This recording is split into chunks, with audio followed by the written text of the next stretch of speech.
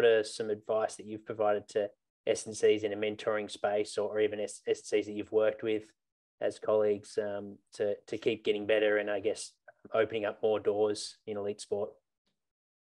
Yeah, I think uh, relationships are key. Um, earning earning your right and, and earning your way is mm-hmm. hard in proving that you've got a, a good work ethic. Um, I said before, both I was very lucky that I grew up in an environment in northwest England where you, you kind of everybody I felt like everybody just worked really hard.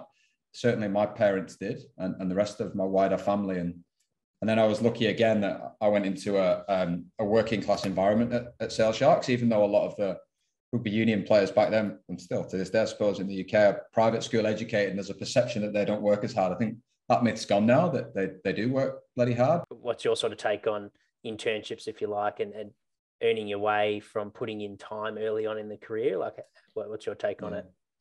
Yeah, when I started, they weren't really called internships. It was just um, I just was a volunteer, and so I just went and helped out with lots of strength and conditioning stuff. And it was purely because I was so passionate about it. I really, really wanted to get better, and I felt like as I was learning more on this masters, I, I needed to experience experience it, and I wanted to. I wanted that feeling of coaching people and helping improve the way they move.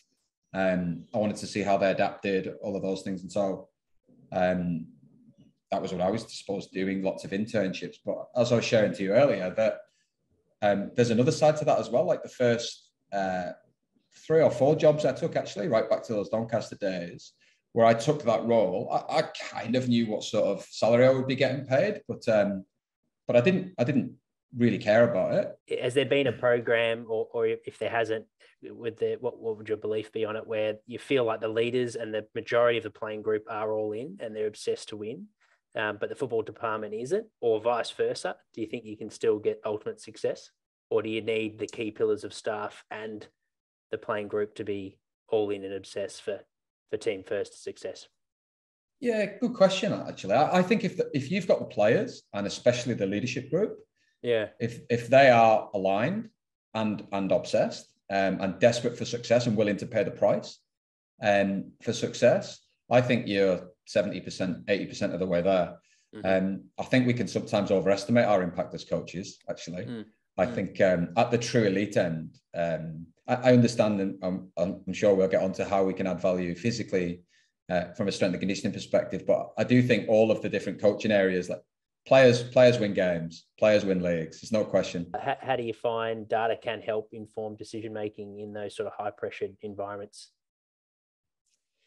Yeah, so uh, I like um, analogies and, and, metaphors for this sort of stuff with, with players and other coaches. I think the way I look at the data or consider the data is like the speed dials on your car. Mm-hmm. And so I, am a big fan of training at, at match intensity or above.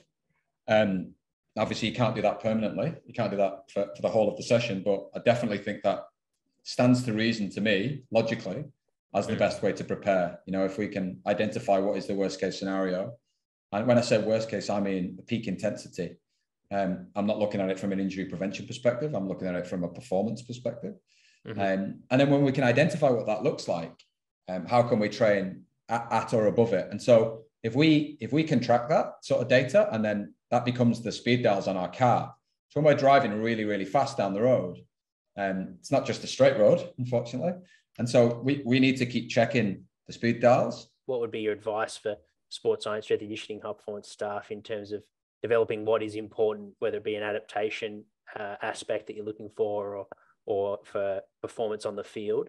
Uh, how do you go about um, having clarity on yeah, help, whether it be helping a player develop and what's an important object, you know, objective measure for them, uh, or if you're working with the consulting coaching staff? And so then there was some great research by, you know, there's a great crew, Grant Duthie, Rich Johnston, Jace Delaney, Heidi Thornton, that crew who were looking at um, the change in pace, I call it change of pace metric. It's a lot of people call it accel decel measurement, but essentially all it is looking at is every tenth of a second, what's the difference in speed?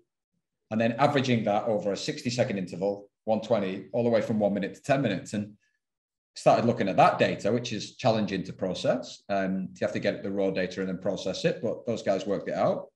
It's really interesting to see that that, that was a lot more sensitive, not just only to the position in some of the great peer reviewed research they've put out. But that data set really allowed us to look at um, measuring all those moments that matter. So when you get hard off the line, that was good because then you get hard off the line, you may or may not be involved in the tackle, but then you've got to get back to the line and reload and then do it again.